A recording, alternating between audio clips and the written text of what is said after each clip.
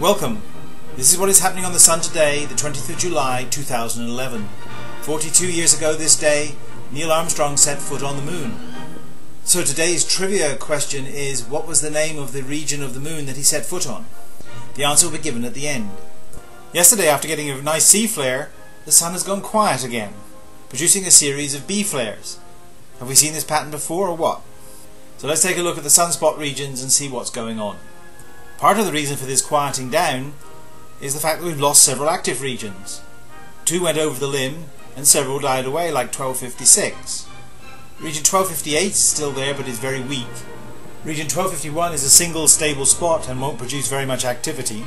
1254 is the largest and most active region on the disk. And region 1259 is no slouch but it doesn't seem to be growing very much. The Plage region that I mentioned yesterday coming over the northeast limb doesn't have any spots with it which is consistent with the relatively weak uh, coronal emissions that we saw in the movies yesterday.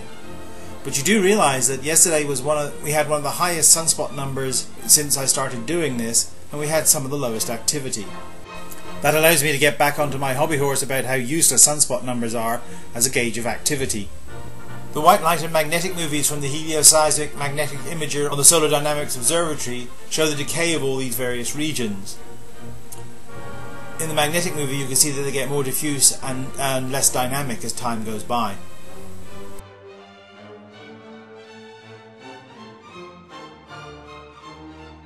From the AIA instrument on the Solar Dynamics Observatory, we can take a look at the transition region movie about 50,000 degrees, and there is a spectacular eruption off of the northeast limb.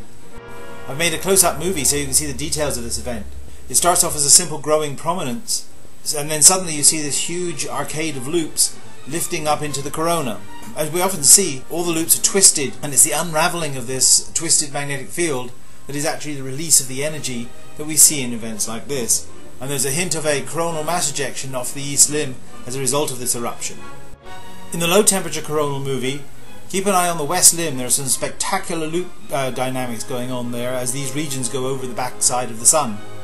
In the high temperature coronal movie, keep an eye on the coronal hole in the southwest. That's the origin of the high-speed solar wind stream that's currently bathing the Earth at the moment. SOHO is still having software problems, but if you look carefully you see a hint of uh, the coronal mass ejection off of the east limb.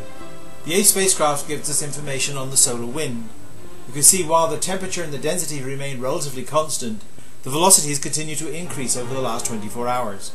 Meanwhile, the high energy electron flux measured by the GOES 13 and 15 spacecraft has been bouncing around all over the place for the last 24 hours, probably as a result of this high speed solar wind stream. However, as we've had no large flares, the proton flux remains stoically at a very low level.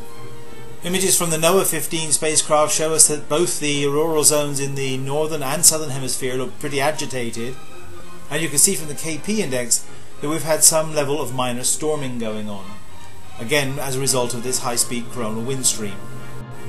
So in summary then, the X-ray background has fallen to the B2 level, the sunspot number is reduced to 96 and I think it'll go lower, radio sun intensity has dropped to 100 solar flux units, meanwhile the solar wind speed has increased to over 630 km per second with a density of 4 protons per cubic centimetre, and we've had some minor storming conditions in geospace.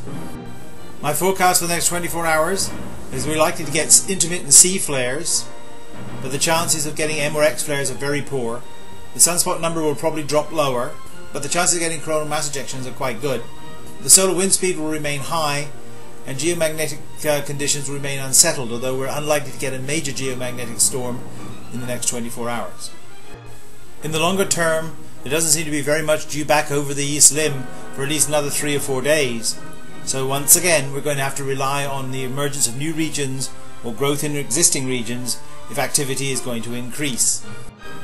If you want to find out more about what's going on in the Sun, follow some of the links in the description box below. You want to see earlier editions of the Sun today, go to my channel and they're all listed there along with some other videos that you might find fun to watch.